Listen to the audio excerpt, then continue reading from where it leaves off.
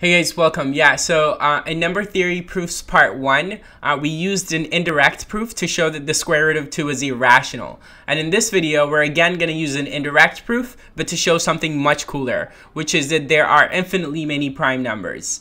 Now, since we're using an indirect proof, we uh, suppose that the primes were finite.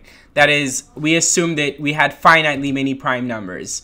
Um, and if so, we can list them, right? And we can list them by starting with the smallest one, p sub 1, being 2, and then the next one being 3, and then p sub 3, the third one being 5, p sub 4, the fourth one being 7, and then p sub 5, the fifth one being 9, right? Nope, I'm just kidding. Uh, p sub 5 would have to be 11. 9 is not a prime, remember. But yeah, we continue in this manner, and somewhere down the line, we will be able to write the last of them, p sub n, and let's call it a but the um, primes are finite in our assumption, so the list must end somewhere. Okay, it's ended here. Now, what we're going to do is come up with a natural number n uh, that's made in the following way, which is we make um, the natural number n by taking all of the primes we listed, p1 through pn, and multiplying them together, and then adding 1.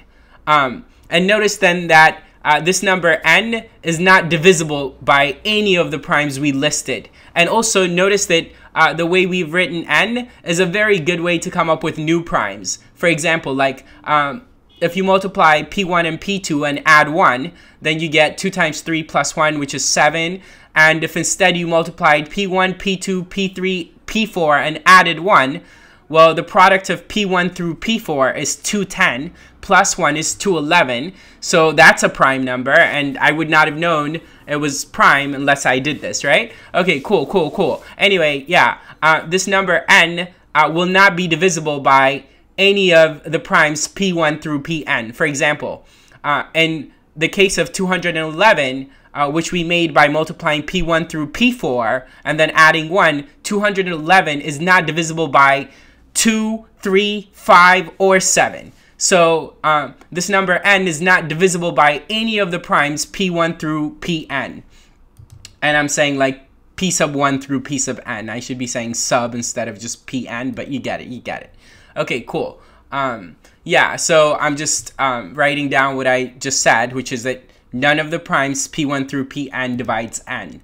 All right, but we know that every natural number n can be uh, factored as a product of primes, right? We know that if given any natural number n, we can write it as a product of primes. And maybe those primes have like powers to them. Like, for example, like uh, in the case of 50, it's 2 times 5 squared. But still, we have to be able to write it as a product of primes that are unique uh, to a power, right? So every number can be written as a distinct product of primes. Uh, and that that distinctness or uniqueness is based upon like the exponent. For example, if you take the prime factorization of like 150, they both involve the primes 2 and 5, but 100 is 2 squared times 5 squared, whereas 50 is just 2 to the first times 5 squared. So that, that exponent on the primes will play to the uniqueness of this factorization, but the point is, keep it simple. Every number n can be written as a product of primes, right? Okay, cool. So then there must be some uh, prime number p sub k that divides this number n we said that none of the primes p1 through pn divide this number n, but there must be some prime number p sub k which divides n.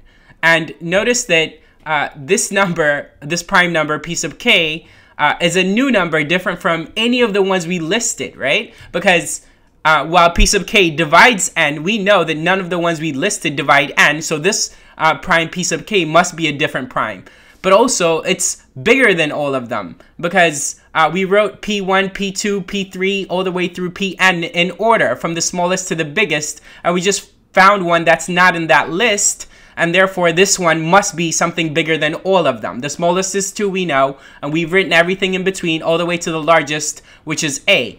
But um, this p sub k, uh, which is a new prime, is not in that list, and therefore is different and bigger than all of them. So uh, we're done because this means that uh, we've just discovered a new prime and so the primes are not finite. That is, the primes are infinite. Yeah? Okay, cool. All right, take care.